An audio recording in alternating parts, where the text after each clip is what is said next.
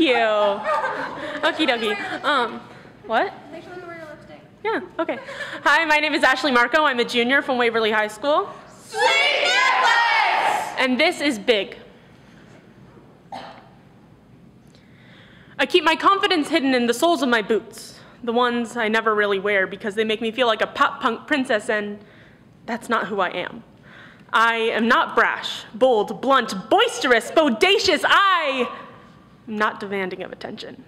Just so you know, keeping your confidence in the sole of a pair of boots is a really bad idea. It's the perfect place for it to get walked all over, worn down by heavy footsteps, forgotten. Confidence is a dangerous thing to forget. Trust me, I had to learn that the hard way. Being neglected by my father growing up in the shadow of a sister who I thought was more talented, being dropped by almost every friend I have ever made, I have felt myself shrink down to a size so small. I can fit everything I am in my size 8 shoes. So small, I can be cut down by the most insignificant of things. Not getting likes on my tweets, a bad grade on a chemistry quiz, someone not getting one of my stupid jokes, the mere thought of being disliked by anyone and everyone, everything about me is small now. My voice, my smile, my anger, my whole self.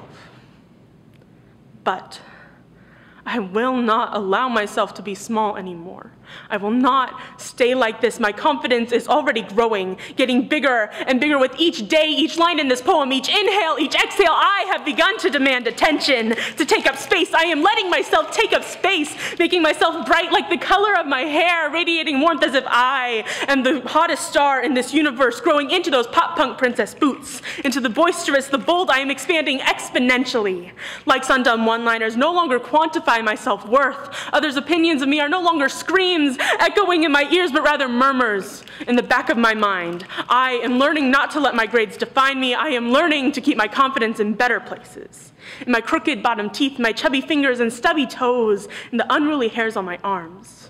One day soon, my confidence will be etched into the very fiber of who I am, residing in the marrow of my bones, woven into my DNA, along with the codes for my green eyes and round face. Each and every song, each and every cell within me will dance. My veins and arteries will sing arias of newfound self-esteem. I will be unstoppable, uncontainable. I will be strong. I will be big. Big ambition, big compassion, big brain, big voice, big me. I will wear pop punk princess boots and I will feel at home in those boots and I will not hide my confidence. I'll tattoo it on every inch of my skin to remind myself to be brash, bodacious, big.